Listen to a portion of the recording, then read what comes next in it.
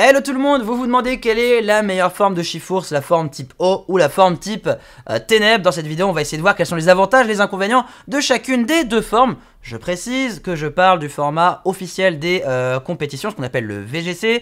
Euh, je ne parle pas des formats Smogon, Overuse, etc. Euh, si c'est vraiment que ça qui vous intéresse, désolé, je n'expertise pas là-dedans. Pour ça, vous pouvez aller chez Redemption, par exemple. vous le savez très certainement. On va commencer par parler des deux moves signatures. Donc il y en a un par forme, évidemment. le premier, alors je désolé, hein, mon, jeu en anglais, je connais quasiment rien en, français de ce qui vient d'arriver. c'est pas toujours évident euh, de, tout se mettre, à la page de tout euh, dans deux langues à la fois quand le, jeu vient de sortir c'est une chose mais là le DLC c'est une première donc je suis un petit peu euh, un perturbé pour tout ça donc Wicked Blow le move type ténèbres il y a que 8 pp faut faire attention à ça ça peut avoir son importance 80 de puissance c'est du physique. On va évidemment taper sur le physique avec Shiforce bien entendu 130 de base attaque pour 67 de base attaque spéciale. Je ne vous fais pas un dessin. Cette attaque va toujours faire un coup critique. Oui, toujours faire un coup critique, donc extrêmement utile contre intimidation. Euh, pourquoi pas contre max acier. Enfin, je le précise pour ceux qui ne le sauraient pas, les coups critiques ignorent les baisses de stats offensives et les augmentations de stats euh, défensives. Donc euh, ça a une très belle utilité quand même de toujours faire un coup critique. Donc c'est mieux qu'un move à 120 de puissance qui n'a pas cette propriété. il faut voir ça comme ça parce que c'est 15, enfin c'est 23 fois sur 24 un avantage puisque un coup critique normalement c'est une chance sur 24. Vous voyez l'idée? Alors oui, on peut pas faire un coup critique par-dessus un coup critique, mais là au moins on a une garantie, puis c'est anti-embrouille de toujours faire un coup critique au final, vu que c'est du 100%. Euh, donc euh, c'est très simple hein, pour la forme type ténèbres, une fois à 80, c'est quand même pas bien compliqué. Et pour la forme type O, en revanche, c'est un coup triple. Ça va être 3 fois 25. Donc on pourrait se dire, oui, bah 75, c'est moins bien 80. Ouais, mais ça a quand même pas mal d'avantages de taper en multi-coup, notamment contre Mimiki, pour casser le fantomasque et taper deux fois euh, derrière. D'ailleurs, Shifour, c'est comme par hasard un point plus rapide que Mimiki, et le tue en un coup, à moins que le Mimiki ait vraiment beaucoup de bulk, mais euh, euh, ça j'y crois quand même euh, beaucoup moins. et ici aussi on a évidemment trois coups critiques, sinon ce serait beaucoup moins intéressant que l'autre forme, ou alors il aurait fallu faire 3 fois 40 de puissance pour que ce soit un peu kiff kiff, mais on aurait eu 3 chances de faire des coups critiques dans ce cas-là. Mais bon, ne parlons pas de choses qui, qui n'existent pas. Nous ne sommes pas dans l'hypothétique ici. Pour son talent, il faut en parler, son talent, bon c'est le même pour les deux bien sûr, euh, point invisible, je crois que c'est comme ça en, français, euh, si, euh, si fait une attaque de contact, alors il ignore les protections, il ignore abri, il ignore garde large, je pense que garde large on va s'en foutre, hein, parce qu'on va jamais utiliser d'attaque de zone, euh, il va ignorer euh, prévention, mais je vois pas quel move de priorité il a, non non il a rien, hein, je crois pas avoir vu quoi que ce soit, euh, mais bon il traverse abri, détection et compagnie, et ça c'est juste complètement broken, c'est complètement broken, d'autant plus que ces attaques gigamax, donc haut pour la forme haut et ténèbres pour la forme ténèbres, traverse même Gardomax. Même Gardomax, c'est complètement fumé.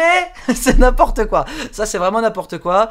Euh, je sais pas, ils ont voulu. Euh, je sais pas ce qu'ils ont voulu faire avec ça. Euh, à la base, l'idée du triple coup et un point plus rapide que Mickey, why not, hein? Par contre.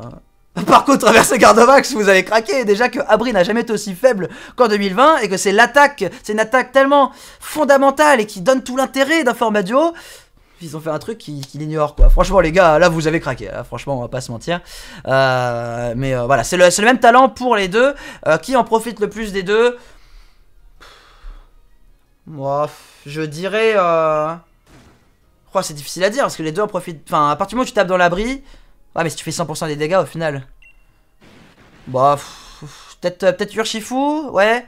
Ouais, sûrement. Euh, peut-être sur Peut-être euh, la forme O. J'imagine que c'est la forme O qui en profite le plus. Euh, j'imagine par rapport aux Pokémon qui pourraient porter une euh, ceinture force et qui voudraient faire abri. Mais la plupart des Pokémon qui, qui portent la ceinture force ne jouent pas abri. Donc c'est pour ça que j'arrive pas trop à imaginer laquelle de deux formes en profite le plus. J'ai parlé des stats. Je le redis. Enfin, je, je, le dis pour ceux qui le savent pas. Il a 100 en base HP, 130 en base attaque, 100 en base défense, 63 en base attaque spéciale. Donc on s'en fout. 60 en base défense spéciale. Donc c'est évidemment sa grosse faille. Et 97 en euh, vitesse. Et puisqu'on parle de sa mauvaise défense spéciale, c'est pour ça que je veux en parler, euh, eh bien...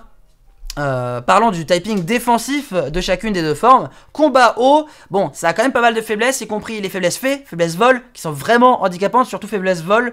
Euh, enfin, enfin, Togeki, tout ce qui veut faire max vol, même s'il n'y a pas le stab, parce que max vol c'est l'attaque max la plus, la plus, la plus forte entre guillemets, enfin la meilleure euh, par rapport à l'effet, par rapport à l'effet qu'elle a.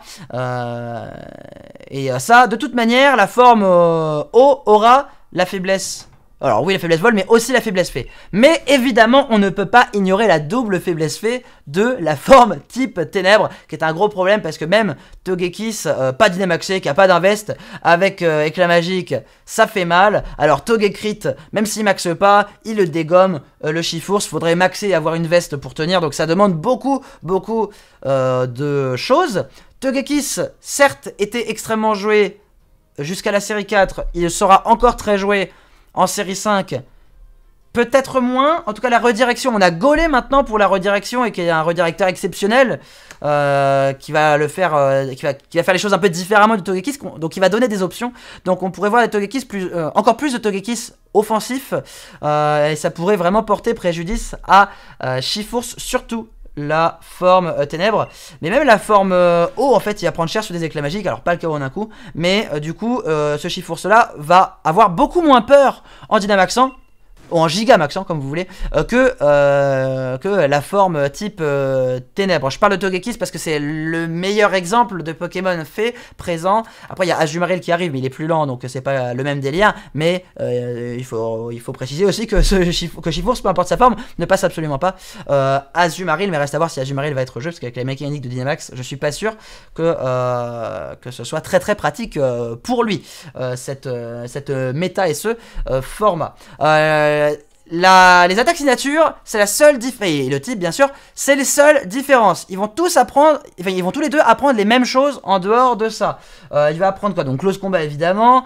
Surpuissance, c'est quand même bien, c'est quand moins opti que euh, close combat. Lame de rock, pourquoi pas pour le coverage, ça peut avoir un intérêt. tricherie, je vois pas l'intérêt honnêtement. Euh, Laria, ça, ça peut être pas mal. Et même la forme haut apprend Darkus Laria, ça c'est vraiment cool. Euh, donc on a quand même du coverage chip ténèbres sur la forme haut, ça c'est pas négligeable. Euh, body press c'est pas rentable. Machouille, oh, Darkus Laria me paraît quand même bien plus intéressant. Euh, tête de fer, ça peut être pas mal pour le max acier, pour booster sa défense, ça c'est vraiment sympa. direct toxique, j'y crois beaucoup moins. Exécution, encore une fois, on préférera Darkus Laria en move ténèbres. Psycho de boule, je suis pas sûr que le coverage psy euh, soit vraiment utile sur lui. Je suis pas très sûr. Euh, parce qu'on va pas se dire, ouais, je vais psy coup de boule pour, contre les autres euh, euh. Bah non, il a une bonne défense. 130 d'attaque, c'est pas si énorme que ça. et en plus, sur psy coup de boule, bah il va pas faire de coups critiques, quoi, comme avec ses moves haut et, et, ténèbres, quoi. Donc il va pas en profiter. Il va pas profiter d'une puissance de feu exceptionnelle, quoi. Casse-brique, on s'en tape. Dynamo point, euh, dynamo point. Vampire point, on s'en tape. Point de feu. Point glace, point éclair, il a tout ce coverage là, ça c'est vraiment sympa. Euh, à voir ce qu'on va jouer, ça va être extrêmement dépendant des teams. Euh, alors là, le, là je, le précise hein, pour ceux qui se poseraient la question, les moussettes que vous voyez là, Bon, surtout celui-là, ils veulent rien dire, hein, c'était vraiment pour, euh, l'aventure. Hein. D'ailleurs, j'ai même pas de stats sur ce euh, chiffre là, je me le suis envoyé euh, d'une autre version et, j'ai juste rien touché. Après, il a même pas une bonne nature, il y a vraiment rien qui va. Donc ne, ne, vous dites pas, ah ouais, mais close combat, wicked blow, tête de fer et point éclair, c'est pas mal. Non, non, non, ça veut, absolument rien dire, je le précise. Mais les points élémentaires, excellent pour le coverage. c'est bien pour lui qu'il ait ces, ces options-là. éboulement, on parlait de move de zone tout à l'heure. Éboulement, je suis pas certain qu'on s'en serve vraiment. Euh, non, non, non, je vois pas de raison qu'on s'en serve, honnêtement. À la limite, euh, lame de rock, pourquoi pas. Euh, cela dit, en attaque max, ça reste 130 de puissance, venant de éboulement comme de lame de rock. Hein, donc il faut pas l'oublier. Oh, il a Kuba C'est maintenant que je me rends compte Oh, pardon, il a Kuba Ils lui ont mis Kuba Ils lui ont mis Kuba Bah, avec Kuba, il profite pas trop de son. Il profite pas de son talent, cela dit, mais. Ils lui ont mis Kuba Désolé, c'est maintenant que je le vois. Oh, c'est trop fort c'est trop fort Bon bah ok, on lui met la forme haut, vous mettez Kuba en troisième haut offensif, et on n'en parle plus, hein, c'est réglé. Ah oui, bah d'accord, c'est génial. C'est génial, bah, il est super fort, c'est excellent. Euh, il a demi-tour également. Non mais il a vraiment trop de trucs. Hein. Il a acrobatie et aéropiqué, donc il peut faire max vol. c'est très très très fort. Hein. On va pas se mentir, c'est très très très fort. Euh, ouais, il a beaucoup de choses, euh, le bougre. Il a beaucoup de choses pour lui. Euh, euh, ça fait beaucoup. pour revenir sur les différences, parce que la, vidéo c'est quand même qui est, le meilleur euh, je pense que la forme O va se démarquer par rapport à l'avantage que va procurer ce move là, mais surtout son typing défensif. C'est ça qui va faire la différence euh, pour, pour Shiforce. D'autant plus que des Pokémon O qui tapent sur le physique, des bons Pokémon O qui tapent sur le physique, ça existe à peu près pas. En gros, euh, ou en tout cas pas comme va le faire euh. Alors que des Pokémon qui tapent haut sur le spécial, il y en a plein, mais c'est pas le même délire. Euh, mais des Pokémon ténèbres qui tapent sur le physique, il y en a déjà des bons. Il y a Tyrannosif évidemment. Bon, Tyrannosif il a la double faiblesse combat. C'est pas toujours un problème parce que max combat c'est capé, donc c'est quand même bien pour, pour Tyrannosif. Mais là, on a la double faiblesse fait et qui est plus handicapante que la double faiblesse combat de Tyrannosif. Donc euh, ça va être un petit peu être un souci. Cela dit, il est quand même bien plus rapide, euh, avec euh, autant d'attaques, hein. et un move signature qui passe à 100 de puissance. C'est extrêmement fort. Enfin, je dis ça en puissance pour le coup critique, vous avez compris le truc. Et un meilleur coverage. mais, ouais, défensivement, c'est pas du tout le même délire. Tyrannosif à côté, bah lui, il, pose la tempête de sable qui booste sa défense spéciale, pendant que lui, il a juste 60 de base de défense spéciale. Donc c'est pas.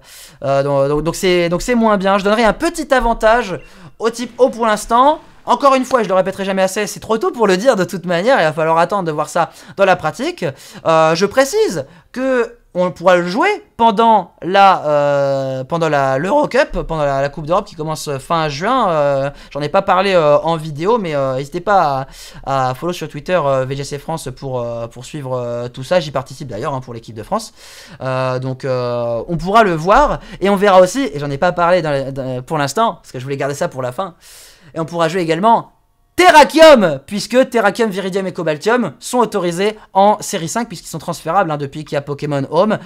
Je pense que c'est ridicule qu'ils les autorisent, mais bon, écoutez, ils sont là, on va faire avec et on va voir ce que ça donne. Ce sera sûrement le sujet d'une autre vidéo euh, ou euh, d'un combat expérimental où, euh, où je jouerai avec ou contre une équipe Farfaduvé Terrakium hein, à l'ancienne, hein, un duo qui existe depuis 2011, donc euh, vieux comme le monde, mais ça on y reviendra euh, dans les jours à euh, venir. N'hésitez pas à me dire quelle forme de euh, vous avez pris, même si vous aviez, même si vous aviez aucune idée de lequel est le meilleur, dites-moi, n'hésitez pas à me dire lequel vous avez pris, que je visualise un petit peu qui a quoi, et si vous avez les deux aussi, si vous avez trouvé un moyen d'avoir les deux, parce qu'il y en a, hein, vous faites un deuxième profil sur votre euh, Switch, euh, puisque c'est un DLC par jeu, donc épée ou bouclier, par console. Donc vous pouvez très bien euh, faire un compte, un, autre compte sur votre Switch, avancer dans le jeu jusqu'à ce, que vous, vous puissiez aller dans le DLC.